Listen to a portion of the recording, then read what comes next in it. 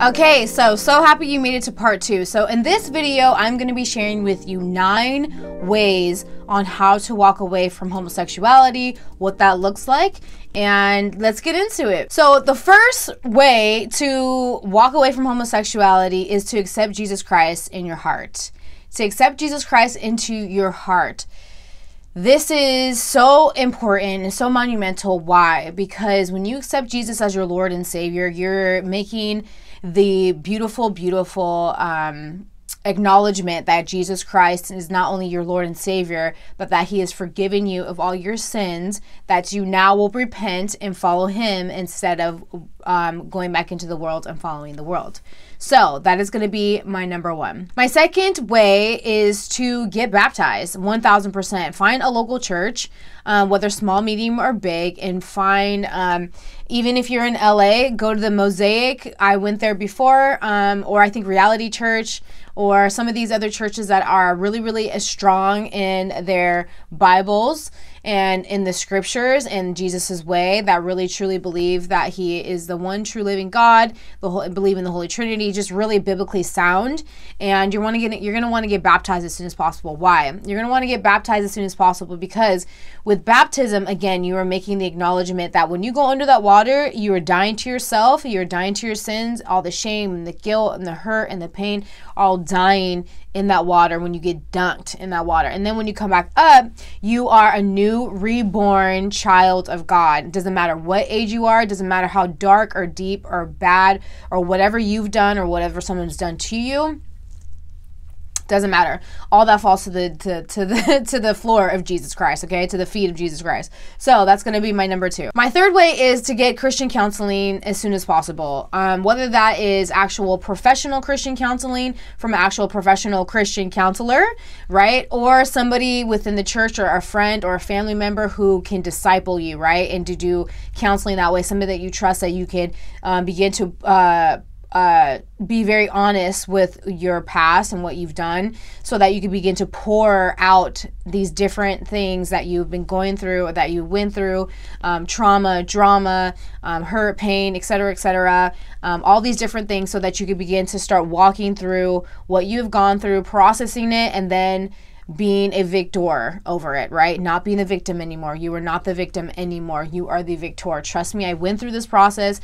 It is hard, it was crucial, but you know what? At the end of the day, I'm so grateful for the body of Christ and also my Christian counselor and my family, my my immediate family who I was able to pour into and just be honest with and just say what I needed to say to get to this point of not only being fully honest with myself and my my um the issues and different things that I went through, but also being able to now help everyone else. Obviously, this is a this is a YouTube Christian ministry ministry, right? So it's like here I am.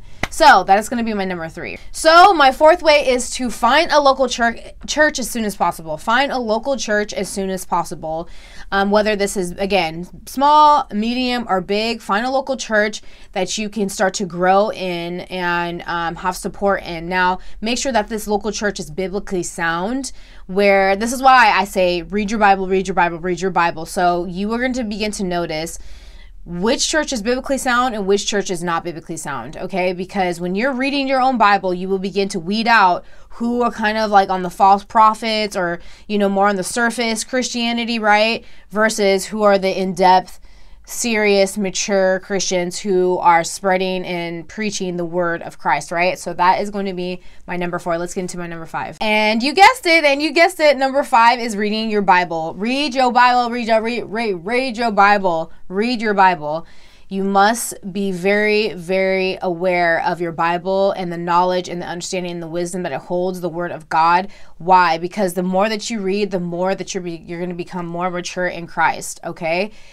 God is going to be able to speak to you in ways that you never thought that he was going to be able to speak to you. And starting in the Gospels, right? By, by the way, Matthew, Matthew, Mark, Luke, and John, you are going to hear literally from God, Jesus Christ, right? He's going to be speaking to you and from his ways, right? Because the Old Testament was Moses' law, which is very, very hard and heavy. I do not suggest you starting in the Old Testament just because, again, their ways were very, again, very heavy, very hard.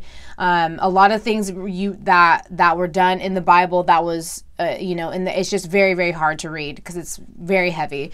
But I will say start in Matthew, Mark, Luke, and John because this is the love, love, love, love of Jesus Christ, right? But just know that Jesus is not just oh love, right? He's also judgment. He has a fine balance, right? As we are to mirror Jesus, we also have a fine balance of this as well, right? Because we do love, but then there's also the truth that's very heavy and real. That's not always going to be people pleasing and not all joyful and not all peace sign and just hippie ish out. No, no, no, no. This is all a part of it. It's a, it's a balance, a happy balance of both, right? So you're going to want to read your Bible, starting Matthew, Mark, Luke, and John. Even if you just stayed in there and you just study that for the next like six months, bravo, because you're going to get a good, solid foundation of Jesus Christ and what he's trying to say to you, but also the ways, the commandments, the morals, the values, all these different stuff. And you're going to get the best foundation of life to mirror Christ um, and how you are going to begin to start functioning. When you mirror Christ and your identity is in Christ, that's how you function, right? We are to mirror Christ. So that's going to be my number five. Let's get into my number six. My number six is that you're going to want to get into a local community group or a um, a Bible study of some sort weekly, right? Um, in my church, we do community groups, which is basically a community group, and and I think we have around you know, over 20, something like that, all very small. So it just basically takes a church, whether it's medium, I mean, small, medium, or large, and it just makes it even smaller because you're doing life with people, right? So with um, community group, you're going to be in community with these people, whether if it's 10, 20, 30, um, whether if it's Zoom or in person or both. And you're going to be um, talking about whether whatever the last message was from your pastor or wherever you guys are in the Bible. And you're going to be talking about different things um, using scripture and, and, and just doing life together and talking about many different things that are re- that are pertaining to this. Plus, you get to pour out, right? Especially with you specifically, if you're coming out of this specific sin, you're going to need support really badly. So you're going to want brothers and sisters that you can talk to about this, right? Um, and have them love on you, pray for you, um, be there for you, support you, etc., etc. in this time of restoration and healing and all that stuff. Or and in addition, I would like to add too, you could also get into from a Christian perspective only, um, a Christian like you know recover like a homosexual recovery program or something like that and you get what i'm saying like something like that which is very similar i guess to kind of like the community group or um, the bible study group but it's even even even more directed towards this specific sin to help you to give you the tools to, to um, to finally walk away from this, but then also the aftercare of it all. And also make sure you check out my video on spiritual warfare. It's right up there because you're going to need this th- this breakdown because when you come out of sin especially a stronghold um, which most of the homosexual lifestyle is a stronghold you are going to need this spiritual warfare tool bag because we do not wrestle against flesh and blood. We wrestle against powers principalities. Um, it's a spiritual world. So there's different things and schemes right that the enemy knows and he knows all everything about you. He's going to try in many different ways to get you back into that sin of homosexuality but then also get you even worse than you were before in many other sins. That is his whole plan. So you cannot do that. You cannot have this moment and then go back into that. I at least I'm praying that you do not do that. It might happen, um, but God is going to still be there for you either way. But the point is that you try to not do that. Um, so you're going to want to check out that video ASAP because a lot of people don't talk about this in the Christian world. They do not talk about how the sins and the and the enemy comes to even attack you harder, but he will try to attack you even harder. But you're going to be stronger and get more strong and more mature in Christ with these steps that I'm giving you. And make sure you check out this other video too, the 22 dispositions that we are to have as Christians because again, this is also mirroring Christ. So, anyways, that's going to be my number what number is that? Number six, let's get into my number seven. So, my number seven is to test every spirit. You're probably like, what is she talking about? Just basically, what this means is that you are going to test people in the Christian realm. So a lot of times when people become new to the faith, when they get when they when they get baptized, God sets them on fire like never before. I still feel that fire. I'm still burning, burning, burning. But like there, but I do will admit, right? Not admit, but like the deeper truth of that is that I was even more burning, like super excited just like just ready to just do whatever God told me, and I still am obviously, but like just really lit up and like I still get like that sometimes, um, but not all the time. I have like a healthy balance of it now. But I will say that there is definitely sheep's and wolf clothing, okay? I mean, excuse me, there's wolves and sheep clothing in the Christian realm, okay? There is there is there is high functioning people that are not for your good in the Christian realm. So, this is why I say test every spirit because people are dealing with all kinds of stuff and brokenness still too.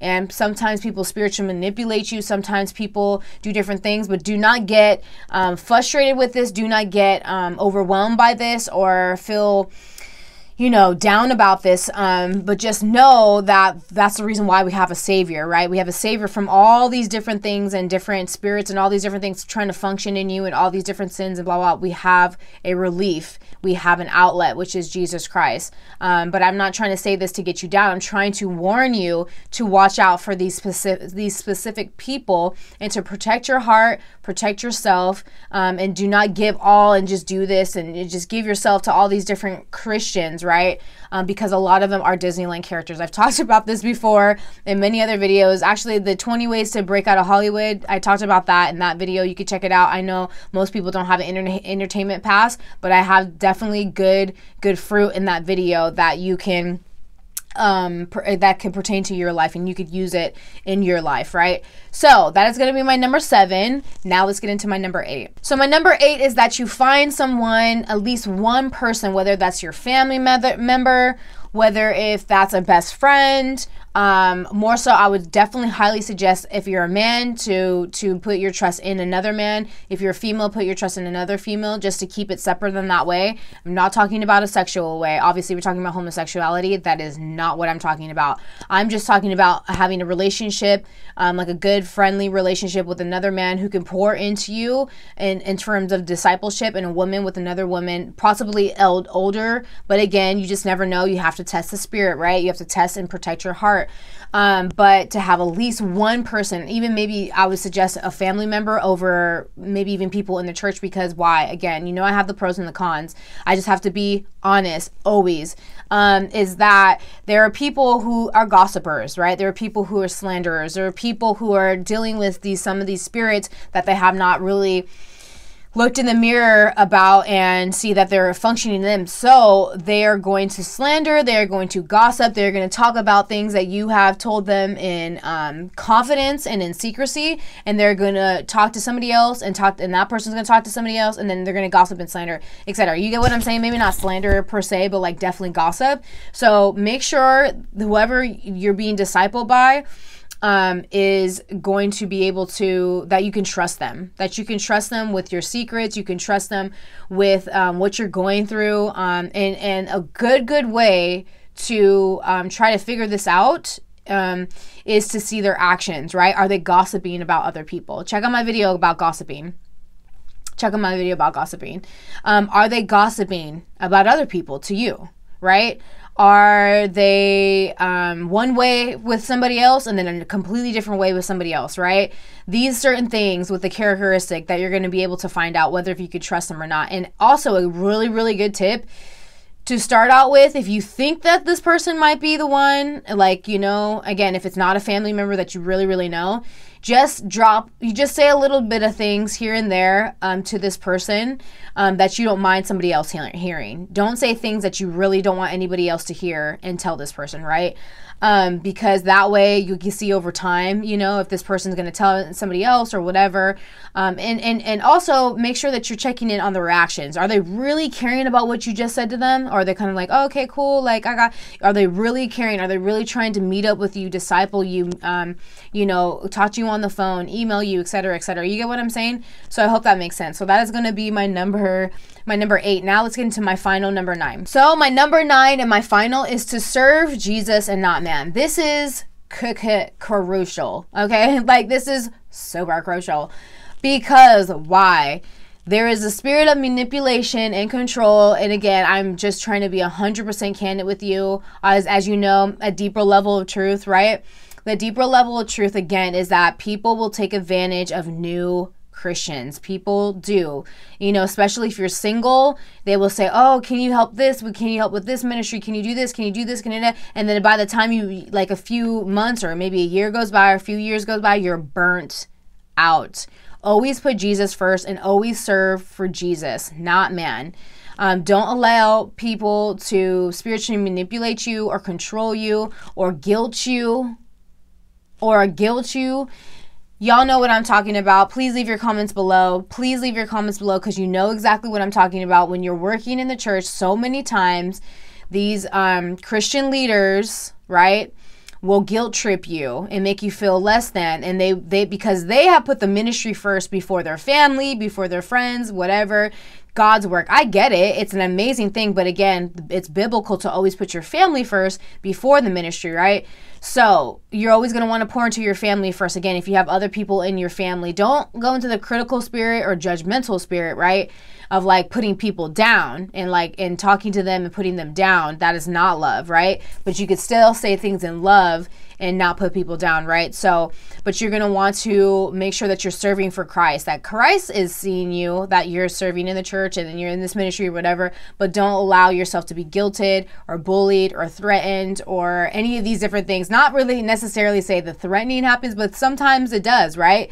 And in the Christian realm, I'm just being, I mean, you know, deeper level of truth, right? So just know all that and serve Jesus and do not serve man. So that's going to be my last and final tip to help you to get out of this spirit of homosexuality. Okay.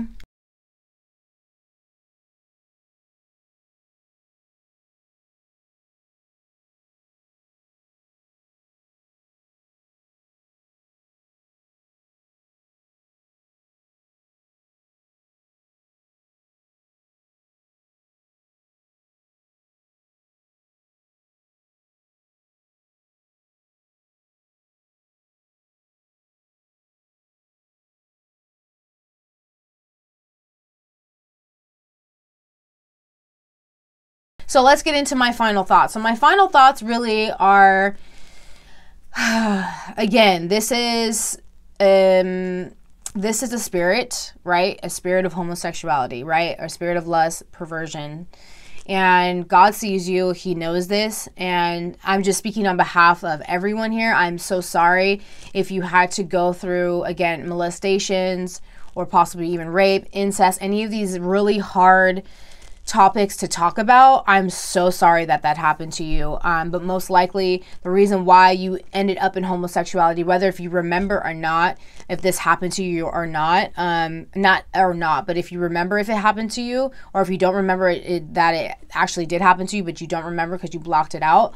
Um, this is why big reason a big reason and gateway that the and the enemy was able to wreak havoc on you and, and and have put that spirit of homosexuality on you and lust and perversion etc etc etc but i just want to say that i'm so sorry about that. Um, but again with my final thoughts i just really feel um, that you are going to love your new life not practicing this sin. Um, not having that guilt, not having that shame, not having that loneliness, loneliness, not having the spirit of rejection, being even hopeful that now you could even move into a heterosexual relationship. Um, again, only sex in marriage, but heterosexual relationship and actually get married and have kids, right? If you didn't adopt or anything like that in your homosexual life, but it, that still can happen, right? You could still go into a heterosexual relationship and start your own family, right? Biological family. That's possible for you if that's what you um, are desiring and God allows allows it to happen for you. Um, but just know that this road isn't necessarily always ABC, right? It's not that the steps are ABC, but the whole staying and staying the staying in a long journey, you know what I mean, and just being consistent and and staying that staying on that narrow path isn't necessarily always the easiest, right? There's going to be so many different temptations being thrown at you. There's going to be so many different urges happening because you've been living this lifestyle for a while. But the hope is is always Jesus, and He's the only one that can help you through this. Again, when you have the urges happen, check out my check out my video on masturbation. This is not having to do with masturbation, but there's some tips in there that you might want to take take from that video to incorporate in this walk of these tips because um, there's urges and different things that that come and different things like that and within those urges um, it's all demonic right? It's all it's all of the enemy lying to you making you think it's actually you when really it's not you it's demonic possession right?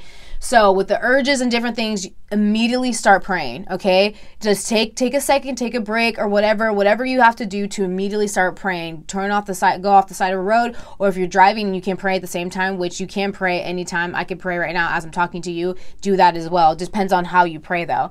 Um, but yeah, 100% start to pray immediately against those urges, rebuking and and renouncing the enemy and everything that he's about with the spirit of molestation. Even if you don't know how to pray that well right now, just do the best that you can. And just always say, in the name of Jesus Christ, I pray by the blood of Jesus, the spirit of, of, of homosexuality, get off of me right now. And then the mighty name of Jesus, by the blood of Jesus. Even a simple prayer like that, even if you just said that and you repeated it, repeated it, repeat it, eventually that urge will go away. Why? Because in the Bible says, if you resist the devil, he will flee, right? Period in a story. Again, I always talk about this specific um um not sin but this specific this specific spirit that was always around me which is a spirit of depression. When i would resist resist resist that spirit fled. Like and you can check out my testimony about that but I just want to say all this for you um, that I'm so proud of you and I'm so excited for you that you are doing this new step. This is amazing.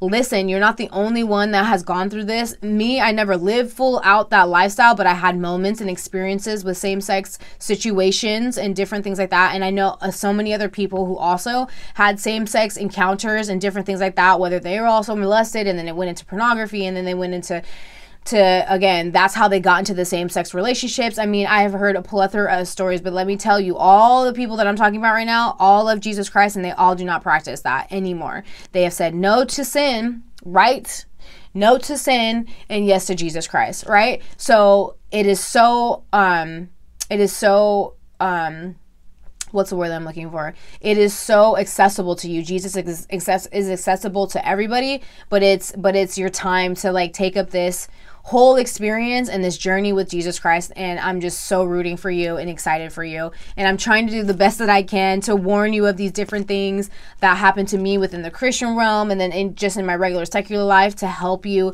so that you do not stumble how I that how I stumbled in different ways, right? So I hope this all helps you. I love you so much. Um and yeah, I'm rooting for you. Amen. Now let's say a quick prayer. So, in the name of Jesus Christ, God, I just pray for my dear brothers and sisters who have taken this an incredible leap of faith to follow you and to say no to sin. You are so happy. You are overjoyed.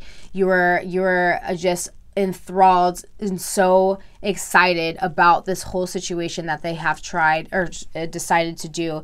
And dear Lord, I just pray for my dear brothers and sisters that um, you are protecting them in the midst of this transition, Lord, um, and that you are with them and that you are loving them and that they feel your presence, God, the Holy Spirit fire. I pray that they start to feel the Holy Spirit fire. I pray even that the Holy Spirit fire um, it gets invited into their their life right now in the mighty name of Jesus Christ, into their heart, their mind, body, spirit, and soul, Lord. Um, and I just pray, God, yeah, that you begin to use them in mighty, mighty ways, Lord. You've always had an incredible plan for their lives, Lord. And as we know, the the more that we say no to sin, and the yes that we say, more that we say yes to you, Lord, and surrender our lives to you, God, the more that you can use us in mighty ways for your mighty kingdom. So I'm just so excited for my dear brothers and sisters who are taking that leap of faith to say no to sin, no to the spirit of homosexuality, and yes to Jesus, and yes to you, Lord, and yes to life, Lord. In the name of Jesus Christ, amen. Amen, family. Amen. All right, family. So that is it for me, wherever you are in the world. Feel free to like this video, share this video with your dear brothers and sisters that might even be like teetering and like questioning their their their homosexuality and they're just trying to figure out why they're questioning it please send this video to them. I feel like this is going to bless them. And make sure you send part one and part two so they can get the full enchilada the full enchilada okay? And make sure again that you check out De- uh, Becket Cook right? And check out um changed movement.com these are going to help you tremendously because these are people like like um I wouldn't say myself, but like these are just people, these are people who once were full blown homosexuals who lived the full blown homosexual lifestyle and now have been radically changed and radically moved um, and forever saved by Jesus Christ, okay? So share this video um, with whoever you need to share it with. Make sure you comment, right? Because the more interaction, the better. This is a YouTube ministry, Christian YouTube ministry. So we are here to uplift the body of Christ, right? Share your testimony, share where you're at. If you're confused and like you don't know why that why I'm talking about the subject or you're angry or whatever, just share. Just share so we can pray for you. We can be there for you. We can try to help guide you to um, be with Christ the best that we can, right? Because I know there's prayer warriors on here. There's there's there's amazing people who are gonna pour into you because again, this is a ministry. This is a YouTube Christian ministry. Okay, so I love you so much. Um, make sure you subscribe to this channel this YouTube ministry. Make sure you hit that bell notification if you never want to miss a video from me. I drop two videos a week, maybe even more depending on because you know the culture is out of control and I have to just say something.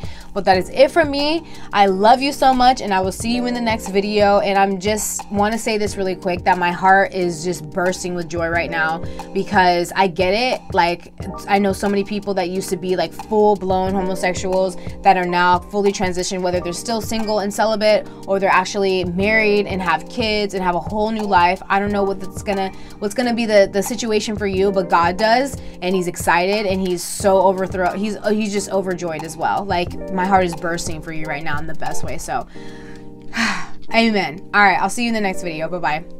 For now. Bye bye for now.